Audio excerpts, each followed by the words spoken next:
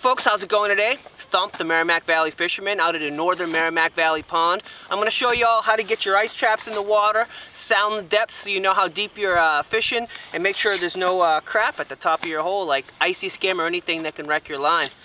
As you can see, I drilled a 7-inch hole here with my auger. I'm going to take what you call a skimmer. I'm going to get all the excess slush and stuff out because the, the, less you have in there, the, the less chance your, your hole has of freezing. And uh, having a frozen hole, that's not a good way to catch fish. All right, I got that skimmed out fairly well. So the next thing I'm gonna do now, I'm gonna get my trap all ready here. I'm gonna make sure that the, that the spool or the drag, whatever you have on your trap, is nice and loose, if not frozen like this one, so that a bass can run with it. I'm gonna take what you call a sounder. Basically, it's just a weight. As you can see, this is a two ounce sounder, and it's got springs. So what I'm gonna do here is I'm gonna put the hook through it, just like that. Now it won't be able to go anywhere and I'm going to drop it right down the hole and I'm going to gauge the depth, see how deep it is here.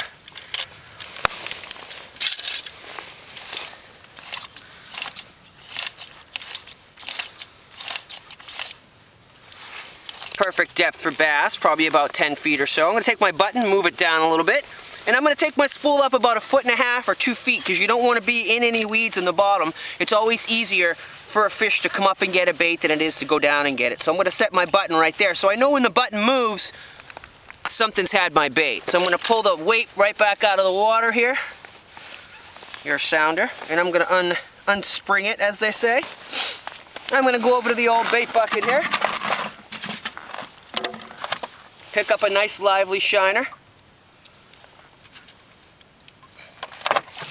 Here's your average pond shiner here, okay.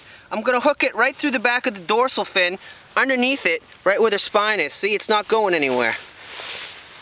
Alright, I'm going to pop it right down in there. Hopefully it'll swim through the skim. Once the weight gets down there, it'll just take off. There we go, taking off. Now I'm just to feed the line through. Let the fish kind of swim away. Swim fishy, come on.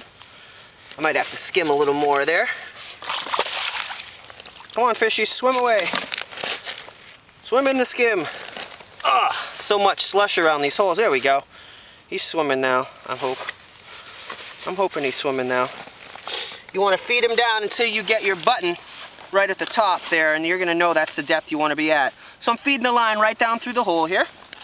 See, I got my button right at the top there. What I'm going to do is I'm going to put my flag down so the mechanism will work. Put it into the hole just like that and hope for a bass to come, all right? This has been Thump, the Merrimack Valley Fisherman. Uh, catch me every Tuesday morning, 10.15 a.m., 980 WCAP Lowell. Take it easy.